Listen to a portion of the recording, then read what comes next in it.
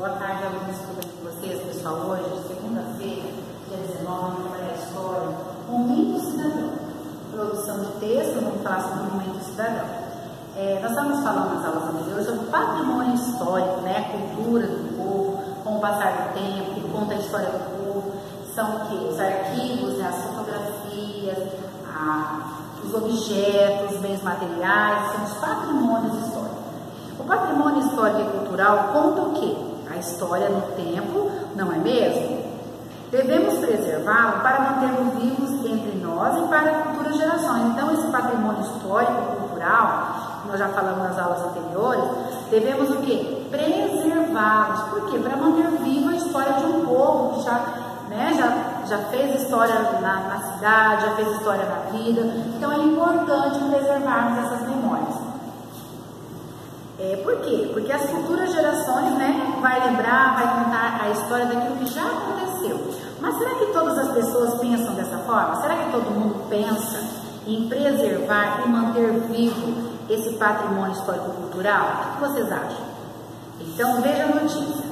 Atualizada, né, em 2016 aqui, momentos, monumentos aparecem pichados com tinta colorida em São Paulo.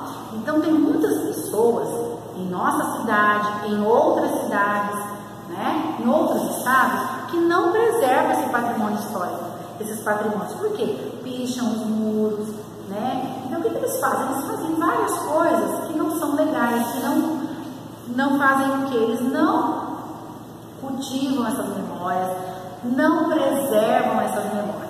Então aqui nesse, nessa notícia que você tem aí, ó, lá em São Paulo, o monumento às bandeiras e estátuas do Borba Gato, situados na zona sul da cidade, foram pichados com tintas coloridas. Muito triste isso, né? Então, câmera de trânsito da região podem ter registrado a ação dos pichadores, que usaram tinta azul, verde e rosa para pintar o monumento. Uma empresa que valoriza a cultura ficou indignada com a atitude e se manifestou dizendo que os monumentos pertence ao povo brasileiro e realmente pertence? E devem ser respeitadas, preservadas. A limpeza começou a ser realizada pela Prefeitura de São Paulo. Então, o que, que eles fizeram, ó, os pichadores?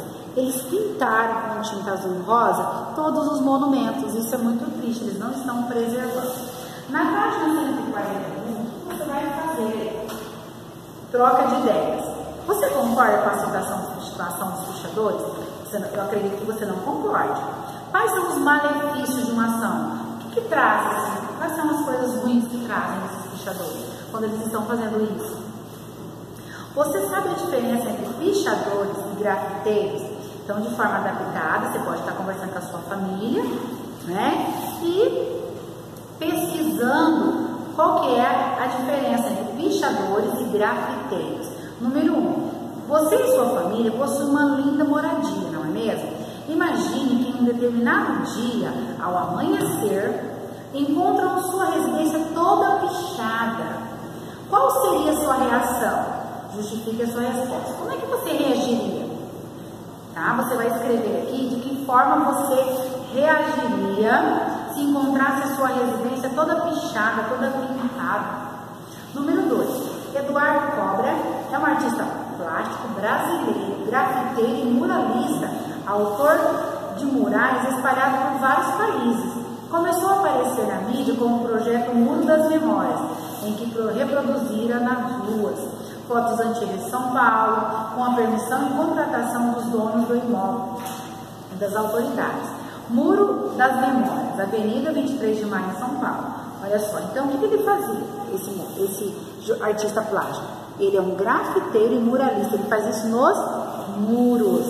Então, observe esse mural e escreva alguns elementos que indicam o passado dessa cidade. Como é que eu sei que aqui é um tempo passado? Você vai descrever aí na sua apostila o que, que marca um tempo passado nesse muro nas memórias de São Paulo. Então, essa foi a nossa aula de hoje. Se você tiver dúvida, você volte nas atividades anteriores sobre o momento histórico-cultural, o que é história cultural, né? O histórico-cultural, o que é patrimônio histórico, que nós já falamos, e faça essa atividade. Tenha uma boa tarde, tchau, tchau.